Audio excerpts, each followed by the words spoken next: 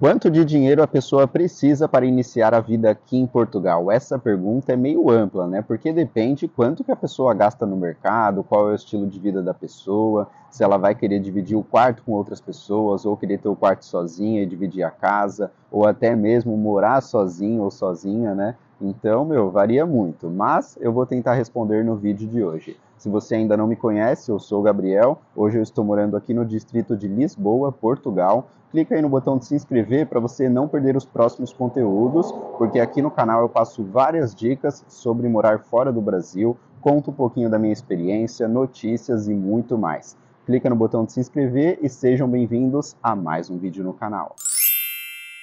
Vamos começar com os gastos iniciais. Assim que você chegar em Portugal, para você se locomover do aeroporto até a sua acomodação, seja um hostel, hotel, casa de amigo, acomodação fixa, né, já, para você se locomover, eu indico, né, como você vai estar com as malas e tudo mais, pegar um táxi, ao invés de pegar transporte público, porque você não conhece a cidade, pegar transporte público com mala e tudo mais, nossa, não é agradável, ainda mais depois de uma viagem cansativa. Então, para você pegar o táxi, eu indico você baixar o aplicativo Bolt. É como se fosse uma Uber no Brasil. Você pede pelo aplicativo, né, chega até você e leva até a sua acomodação. Bem mais barato do que você pegar um táxi na rua.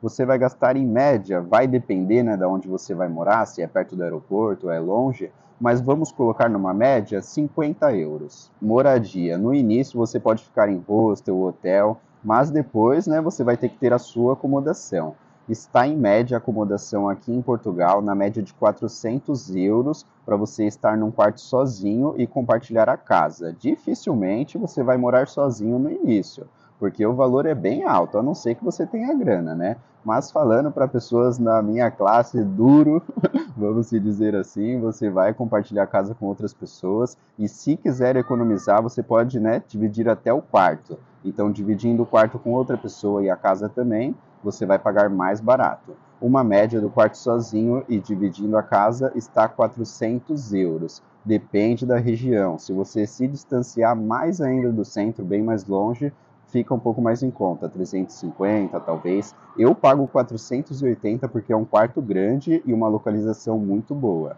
Então varia bastante também. E para entrar na acomodação, você não paga só o aluguel, você paga o aluguel e um calção. Esse calção é no mesmo valor do aluguel, né? Se o aluguel é 400, o calção vai ser 400. E esse calção é uma garantia para o dono da casa que quando você sair, vai estar tudo ok, né, do jeito que ele te entregou e vai ser uma segurança para você não sair desesperado, porque para você receber o calção, você precisa avisar um mês de antecedência para o dono da casa procurar outra pessoa para ficar no meu lugar. Se eu sair do nada, falar, ah, eu vou sair amanhã, aí você não recebe o calção de volta. Então, para entrar, você já vai gastar aí, ó, uns 800 euros só para iniciar. Mercado, alimentação, coisas iniciais que você vai ter que comprar né, no mercado, já vamos colocar aí, ó, na primeira semana, mais de 100 euros que você vai gastar. Porque você vai ter que comprar os alimentos, né, para você comer, e você vai ter que comprar também coisas para lavar roupa, para limpar talvez o quarto, né, aqueles utensílios básicos assim. Então vamos colocar uns 100 euros para mais aí que você vai gastar, né? De início, pelo menos. Nas primeiras semanas vai ser isso. E aí depois o mercado varia muito. Claro que, tipo, meu, depende o tanto que você come. Se você é marombeiro, vai querer comprar whey, um monte de coisa. Depende muito, né? Isso daí varia bastante. Mas vamos colocar em média, por semana, a pessoa gasta uns 60 euros no mercado por semana.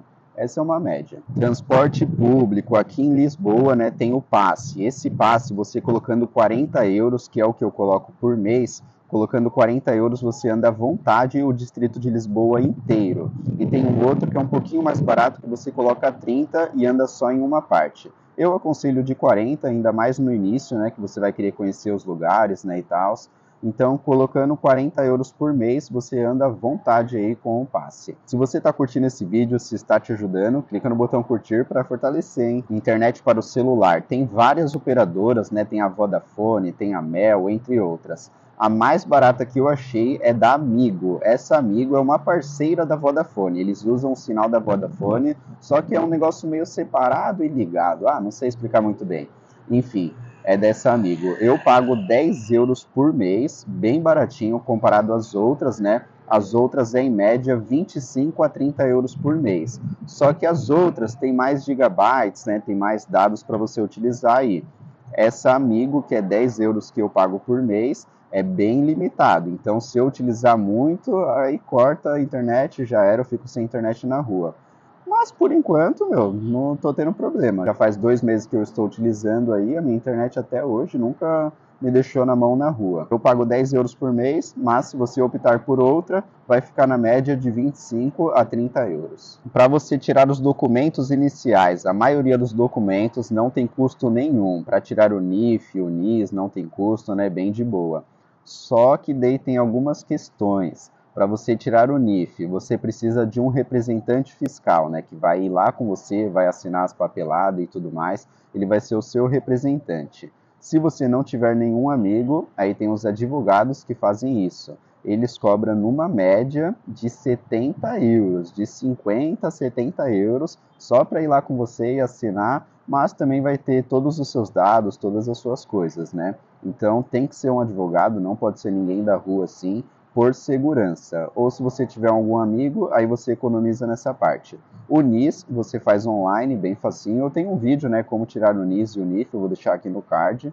É bem facinho, de boa. Para você tirar o comprovante de morada, você tem que pagar 20 euros para você retirar na próxima semana e se você quiser pegar no dia é 30 euros. Isso varia, esse valor foi aonde eu tirei dependendo do local que você for, não tem que pagar nada, ou se não tem que pagar um pouquinho a mais ou a menos, então depende. As contas da casa, luz, água, internet, normalmente já é incluso né, no valor do aluguel.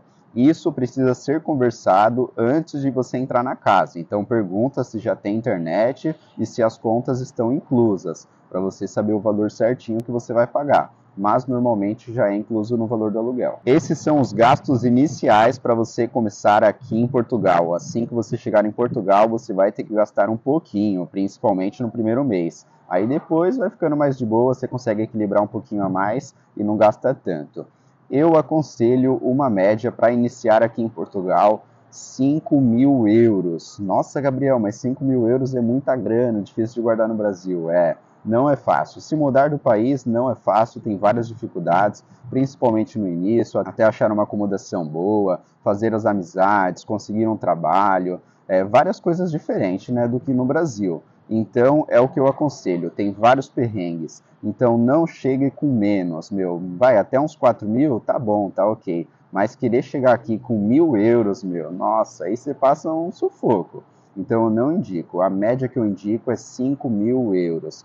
Tem pessoas que chegaram aqui com 300 euros e se deu bem. Mas será que você vai ser uma delas? Porque tem muitos perrengues, principalmente no início, e você não vai querer né, passar por dificuldades. Querer, tipo, sei lá, morar na rua, passar fome, pode acontecer. Então é melhor não arriscar. 5 mil euros é o que eu indico para estar iniciando aqui em Portugal com mais tranquilidade para você ficar pelo menos aí de boa uns três meses, caso não consiga um trabalho. Mas assim que você chegar, já vai tirando os documentos, procura um trabalho para deixar tudo certinho e depois vai curtir Algarve, Lisboa, Porto, porque aqui tem vários lugares bacanas para você conhecer. Mas no início, estabeleça a sua vida, deixa tudo certinho e aí depois sai para curtir. Beleza, pessoal? Fica as dicas. Espero que você tenha gostado desse vídeo e cria uma conta na Wise para você ir mandando o dinheiro do Brasil para fora para ir guardando em euro e depois quando você estiver aqui fora, você pode mandar para o Brasil também para fazer aquele caixinha separado, né, para investimento, comprar alguma casa, algo do tipo. E com a Wise também você pode ter o cartão físico para fazer pagamentos em estabelecimentos. Vou deixar o link aí na descrição, dá uma conferida vai ter também seguro viagem e passagens aéreas, num precinho bacana e um atendimento nota 10 é com a Voar Mais. O link vai estar tá aí na descrição também, confere aí. Se você gostou do vídeo, clica no botão curtir, se inscreva no canal, tamo junto e até a próxima. Valeu!